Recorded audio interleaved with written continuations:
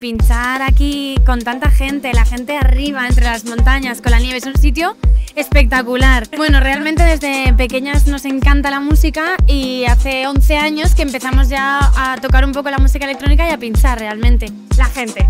Sí, la gente, la energía de la gente y que se lo pasen bien. La Barcet. es lo más importante. La. Yo creo que inspira alegría, buen rollo, eh, compañerismo. La gente acaba hablando unos con otros aunque no se conozcan de nada y se van como con una buena sensación y como energía positiva, yo creo. El sitio creo que es uno de los apres-skis más bonitos que hemos visto y hemos hecho muchos y es muy muy bonito. El mejor sitio de apreski de, que conozcamos. Sí. Y estamos en, en Austria, estamos en un montón de sitios. A Barset es otro nivel. Sí.